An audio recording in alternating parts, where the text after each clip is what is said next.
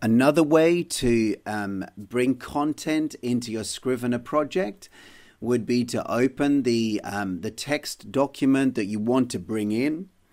Um, select all of the text that you want to bring in, and then just simply copy, and then click into the document that you want to add the text to. So I've got my untitled document here in my draft folder, and then just paste it into the document there. So that is obviously a quick and easy way to bring content across into your new Scrivener document.